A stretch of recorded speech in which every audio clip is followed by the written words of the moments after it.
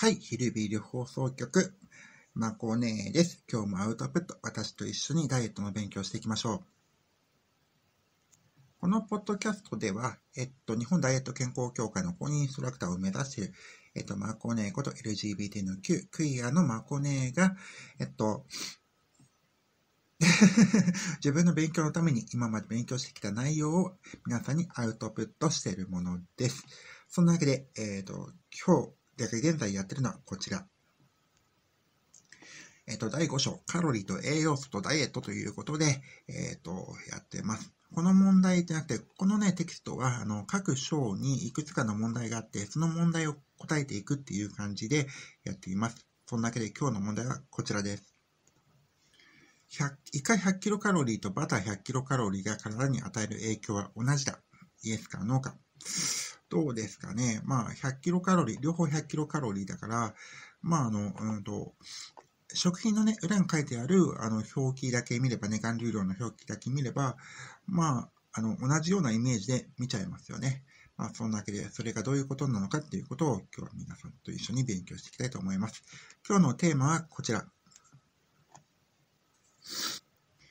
栄養素に、栄養素によるカロリーの違い。について今日は勉強していきます。で、えっ、ー、と、まあ、早速いきましょう。カロリーの内容に配慮しましょうということなんですが、まあ、あの、皆さん、普段からね、もう食品買われる、なんても何でもね、まあ、そうしたときに、まあ、多くの方が、あの、カロリーを気にしてるって、あの、えっと、後ろ見てね、何カロリーかなとか、今はまあ、と、コンビニなんかのパンだと、まあ、あの正面にデカデカのカロリー表示してるものもありますね。そう。なので、皆さんカロリーは気に入ってると思うんですが、まあ、その内容に配慮しろしろということはどういうことか、早速やっていきましょう。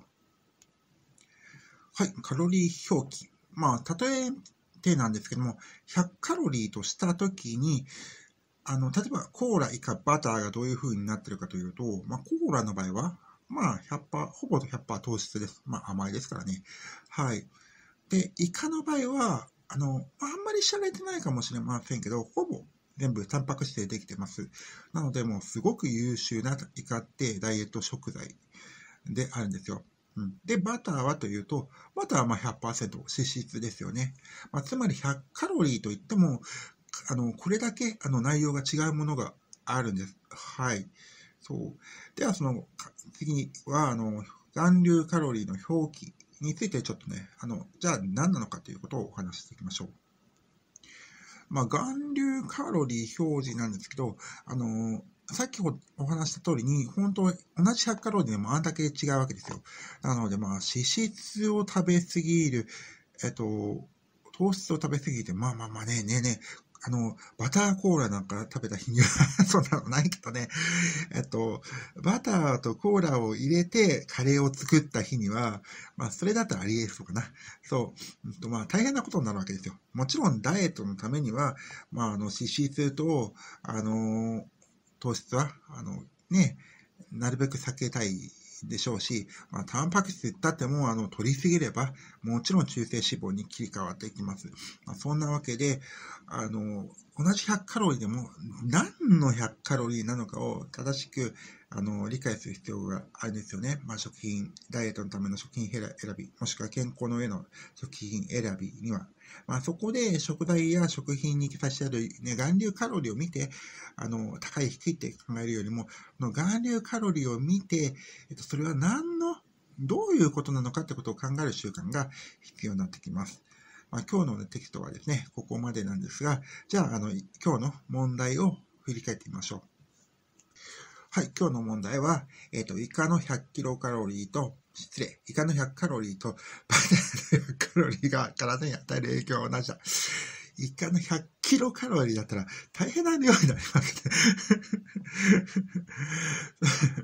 そう、まあ、イカの100カロリーとバターの100カロリーが体に与える影響は同じだ。これは全然違いますね。はい。同じじゃありません。の、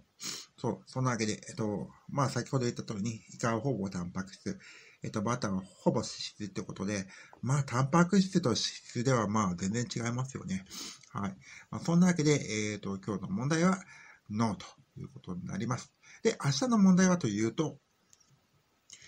同じ芋類ならば、含流カロリーがほとんど同じイエスかノーか。うん。まあ、これ昨日の、あの、問題21を聞いてた方でしたら、あー、なるほどね、みたいな。そうだよね、みたいな感じだと思うんですが、まあどうですかね。そう、あの、まあ、同じ芋類ならっていうところがミソで、まあ、イメージするのがね、じゃがいもの、あの、免疫ユニット男爵芋ならって言われたら